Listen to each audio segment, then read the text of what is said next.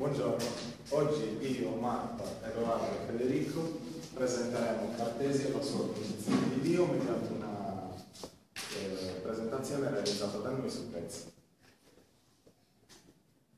Allora, parto dicendo che Cartesio è uno dei più grandi filosofi matematici eh, della storia e grazie al suo pensiero eh, si segna il passaggio, cioè grazie al suo pensiero contribuisce a segnare il passaggio dal, dal Rinascimento all'età moderna. Le riflessioni di Cartesio riguardo all'esistenza e di Dio sono contenute nell'opera Meditazioni metafisiche.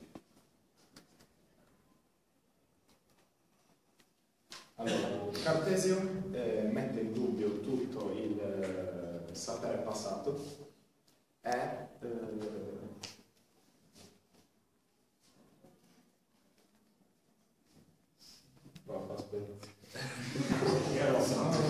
Prego. Cartesio dubita di tutto il sapere passato e va alla ricerca di un uh, metodo per vedere quali conoscenze resistono al dubbio e sono quindi vere e quali conoscenze non resistono al dubbio e sono quindi false. Quindi Cartesio in primis dubita delle conoscenze sensibili, eh, per esempio facendo riferimento al mito di Chuang Tzu e alla farfalla.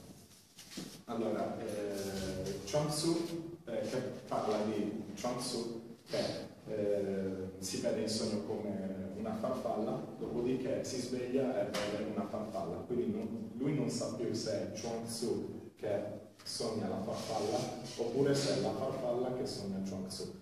Con questo Cartesio ci vuole dire che i sensi ci eh, ingannano.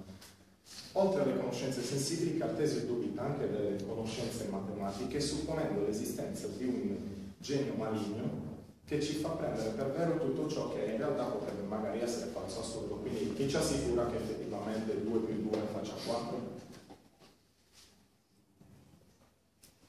Quindi Cartesio in questo modo estende il dubbio a ogni cosa che diventa quindi iperbolico o universale.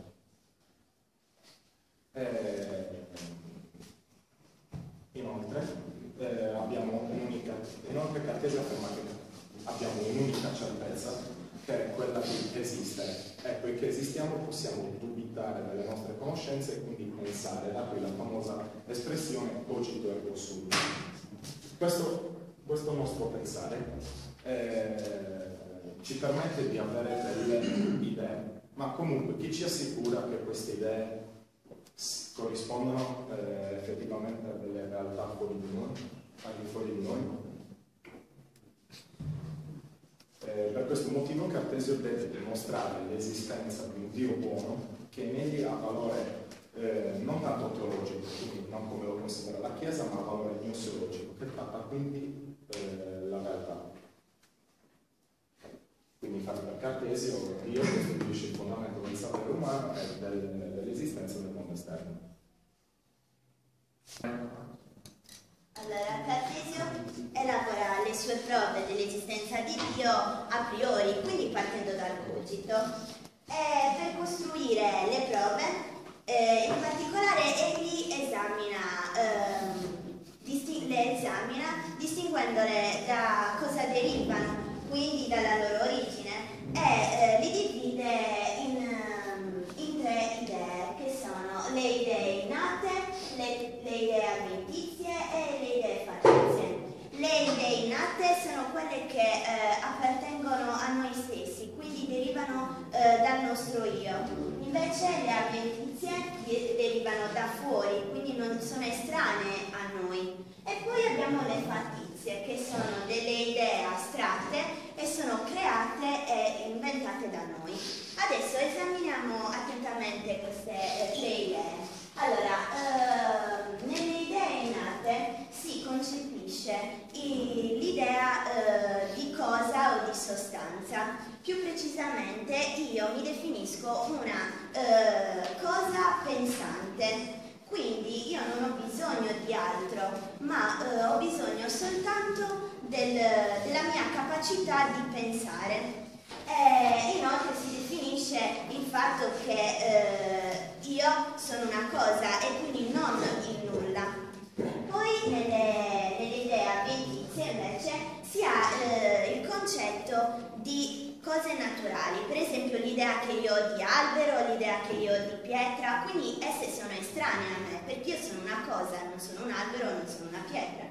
E poi abbiamo le idee fattizie. Le idee fattizie sono quelle idee astratte che non esistono, quindi sono inventate soltanto da me. Per esempio l'idea che io possa avere di un unicorno, che oppure l'idea di un albero di pietra, dove si unisce l'idea che ho di albero all'idea che io ho di pietra e quindi sono astratte, non esistono.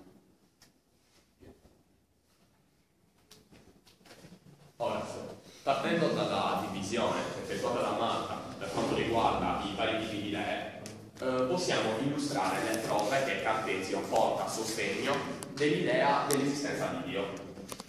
Queste Cartesio utilizza hanno tutte origine nella filosofia scolastica, che è, conobbe una grandissima diffusione durante tutto il Medioevo e che affonda le proprie radici nell'aristotelismo. La prima prova che Cartesio utilizza appunto per dimostrare l'esistenza di Dio si basa su un concetto molto importante. Infatti, secondo molti filosofi, la causa di un'idea deve avere in se stessa almeno tanta perfezione quanto è quella contenuta nell'idea stessa. Detto in parole povere e riferendo al nostro problema. Posso io, che sono un uomo, un essere finito e imperfetto, aver creato autonomamente l'idea di Dio, ovvero di un essere infinito, perfetto, eterno e onnisciente? Per Cartesio la risposta è no. Infatti, egli eh, a questo punto ammette obbligatoriamente l'esistenza di un essere perfetto, onnisciente, che appunto corrisponde a Dio, che ha posto nella mente di tutti gli uomini l'idea appunto della sua esistenza. Questo ragionamento è, è contenuto in, un, in un'opera del XII secolo eh, chiamata Monologion, che è la seconda prova invece si basa sulla dimostrazione per assurdo. Infatti Cartesio, in questa seconda prova, ammette in modo preliminare la non esistenza di Dio. Ma se Dio non esistesse, allora l'uomo si sarebbe dovuto creare autonomamente.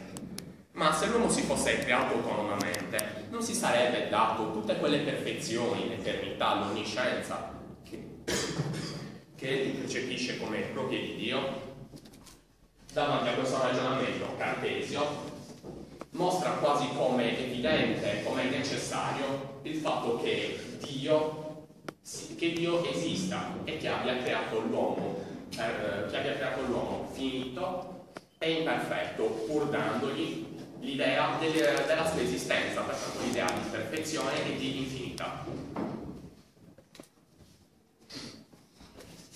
Quindi il, questa seconda prova ammette eh, in modo quasi stringente per Cartesio l'esistenza di Dio. A queste due prove appena spiegate da Edoardo, Cartesio ne aggiunge una terza, che è una tradizionale prova ontologica. Essa afferma che non è possibile concepire Dio come un essere sovranamente perfetto senza ammettere la sua esistenza, proprio perché l'esistenza è una delle sue perfezioni necessarie Ok, ora questa frase può sembrare abbastanza complicata, ma in realtà è molto semplice. Eh, partendo dal presupposto che Dio è un essere perfetto, proprio perché se non fosse perfetto sarebbe un essere comune a noi e quindi non sarebbe Dio.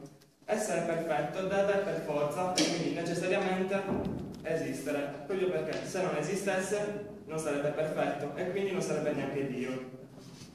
Eh, infatti per Cartesio, come non si può immaginare un triangolo che ha due angoli retti, non è possibile immaginare un Dio perfetto che non esiste. Questo anche perché per Cartesio il concetto di esistenza è già presente, quindi implicato nell'idea di perfezione. Eh, le prove sull'esistenza di Dio suscitarono diverse critiche dei contemporanei di Cartesio, poiché le trovarono non esattamente esaustive e poco stringenti. La prima critica viene fatta da Arnold, che l'accusa di aver creato un circolo vizioso. Infatti Cartesio pretendeva di dimostrare l'esistenza di Dio sulla base del criterio dell'evidenza, ma allo stesso tempo garantiva questo criterio eh, ricorrendo all'esistenza di Dio e quindi creando un circolo vizioso da quale è possibile uscirne, a meno che non si rompa uno dei due principali concetti. La seconda critica invece viene fatta da Gassendi. Eh, lui afferma che l'esistenza non è un concetto presente nella definizione di qualcosa. Infatti, quando una cosa esiste, non si intende una proprietà che si aggiunge alle altre, ma che essa è e quindi esiste anche al di fuori dalla nostra mente. Anzi, è proprio questa condizione extramentale che ci permette di attribuire delle proprietà a una determinata cosa. Eh, Gassendi inoltre contesta due capisaldi della prima prova. Il primo è che l'idea di Dio quale ente infinito fosse innata e quindi presente nella mente da sempre. E che la seconda è che tale idea fosse positiva o originaria ovvero che non deriva né da altri concetti né dall'esperienza. Infatti per Gassendi l'idea di Dio come ente infinito è frutto della trasmissione di una certa cultura, della comunicazione tra gli uomini, eh, dell'educazione. E infatti questa idea è anche costruita dalla mente umana per mezzo di quella negazione e di quella finitezza che facciamo eh, che facciamo esperienza osservando la realtà. Allora, a quest'ultima obiezione Cartesio risponde che, allora, innanzitutto ribaltando l'argomentazione di Gassendi, eh, dicendo che pensare significa meditare e che quindi il mio pensare non si saprebbe imperfetto e infinito se in me non eh, ci fosse l'idea di eh, perfezione e eh, finitezza. Quindi, eh, in altri termini, la certezza di, di sé come essere perfetto eh, esige la certezza di Dio come cioè scusi, la certezza, la certezza di sé come essere imperfetto eh, esige la certezza di Dio come essere, come essere perfetto.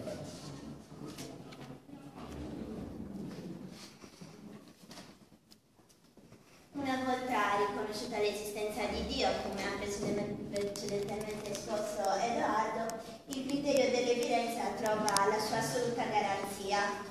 Allora, si afferma questo. Dio, essendo perfetto, non può ingannarmi. Quindi, tutto ciò che io trovo eh, chiaro e evidente è vero perché me lo dice Dio e Lui, essendo un Dio buono e perfetto, non può trarmi in errore, ok? Eh, però questo accade soltanto se eh, ciò che mi dice Dio viene adoperato correttamente e questo è un punto molto importante.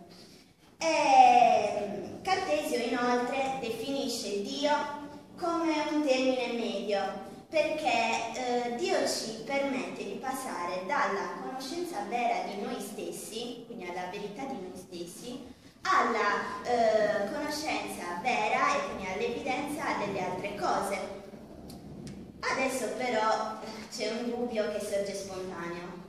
Se Dio è buono, è perfetto, com'è possibile l'errore in un sistema così come è quello di Cartesio?